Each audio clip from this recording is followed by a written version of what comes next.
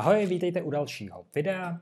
Dneska tady máme uh, zase značku Hikvision, tentokrát NVR DS7104 a kameru Color View. A my si tady teď ukážeme, nebo ukážeme, řekneme, co a jak.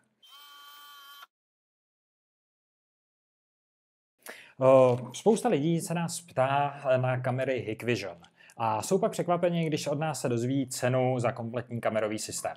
A proto na rozdíl od našich klasických videí, kde vám většinou ukazujeme to úplně nejlepší ze světa bezpečnostních kamer a zabezpečení, tak dneska jsme se vydali trošičku jinou cestou a jdeme na to z druhého konce. Takže tady máme naše úplně nejlevnější NVR od značky Hikvision. Co je na tomhle tom NVR zajímavý, tak je to, že má čtyři PoE porty, takže můžete napájet až čtyři kamery, a, nebo lépe řečeno mít k tomu připojené až čtyři kamery.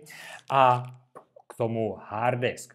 Což v případě, že chcete dobré kamery a nechcete řešit nějaké složité ukládání, bohatě vám stačí právě tady tohleto NVR.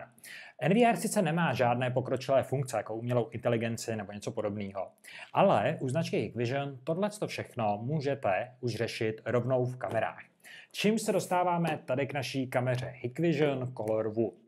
Je to víceméně zase trošku z, opačného str- z opačné strany spektra, než je tady to NVR. Je to jedna z těch lepších kamer a je lepší tím, že má 24 hodin barevný obraz.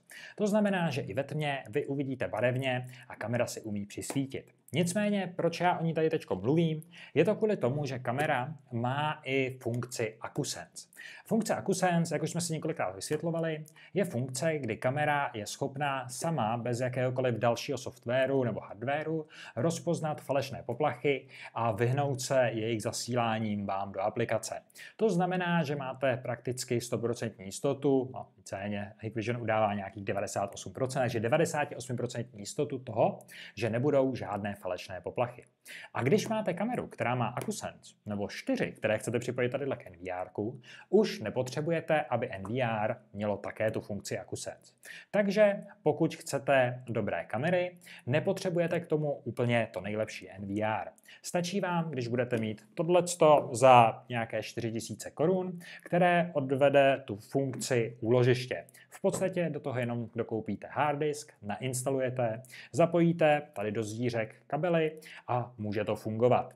Nebude NVR umět nic jiného, než prostě jenom ukládání dat, ale ve většině případů, pokud si připlatíte za kamery s akusensem, ani nepotřebuje. Tohle NVR je teď v akci, takže u nás na našich stránkách je i ze slevou 5%. Podívejte se, jako vždycky, dolů do popisku, kde je odkaz jak přímo na tohleto NVR, tak i na naše stránky.